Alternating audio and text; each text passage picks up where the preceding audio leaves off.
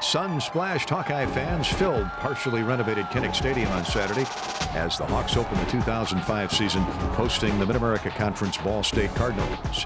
The Cardinals, outmanned from the beginning, didn't help themselves when 13 players, including eight starters, were suspended just prior to kickoff.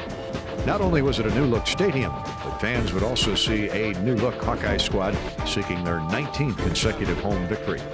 An arsenal of running backs now to work with, Drew Tate and the offense went right to work against the Cardinals. His wing to the left with Scott Chandler. There's a handoff to Young. Big hole over right tackle. He's inside the 15, 10, 5 yard line. Hawkeyes first and goal. What a burst of speed by Albert Young. Here's a handoff. Schnoor over the left guard and center into the end zone. And for the first time in 2005, it's touchdown, Iowa.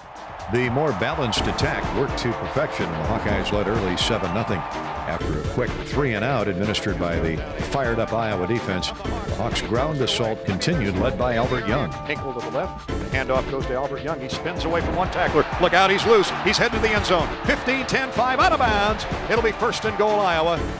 Out of the eye. Handoff goes to Albert Young. He's fighting for the goal line over left guard. He is in. Touchdown, Iowa.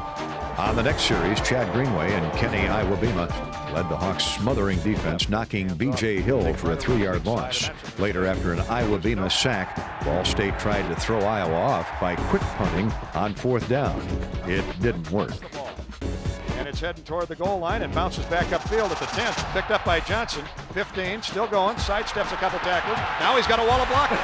20, 25, 30, 35, 40, 45, 50. He's midfield 40, 35, 30, 25, 20. It's going to be a touchdown, Iowa. Jovon Johnson. The onslaught would continue on the next series. After a Mitch King strip and forced fumble, Drew Tate went to the air to increase the Hawkeye advantage out of the gun. Tate fires a bullet past goal line. Caught! Touchdown, Iowa! Clinton Solomon. Solomon's touchdown grab made it 28 to nothing Iowa at the end of the first period. It was more of the same in the second quarter. Another sack, this time by Abdul Hodge, forced another Cardinal punt. Drew Tate then found a new target in his receiving corps, Herb Grigsby. Fourth down and six. Tate wants it all. He's looking for Herb Grigsby. He's open. Caught! Touchdown, Iowa! Grigsby ran right up the sideline and somehow got hooked up with a linebacker. And that's just missed coverage by Ball State, and Drew Tate lobbed beauty. At 35 to nothing, Coach Kirk Ferentz called off the Dogs, giving younger players a chance to get their feet wet in sunny Kinnick Stadium. Unfortunately for Ball State, the results were the same as backup Shonn Greene and Sam Brownlee ran hard, long, and often. That's Sam Brownlee fighting for the goal line. He's over. So it's third down, a yard for the first down. They go to Shonn Greene. He gets the corner turn. First down into the end zone, across the goal line. Touchdown, Iowa. With 241 yards rushing and 200 yards passing, the balance was evident. The Hawks rolled to a 56-0 victory over an outman Ball State team. Next week won't be nearly as easy.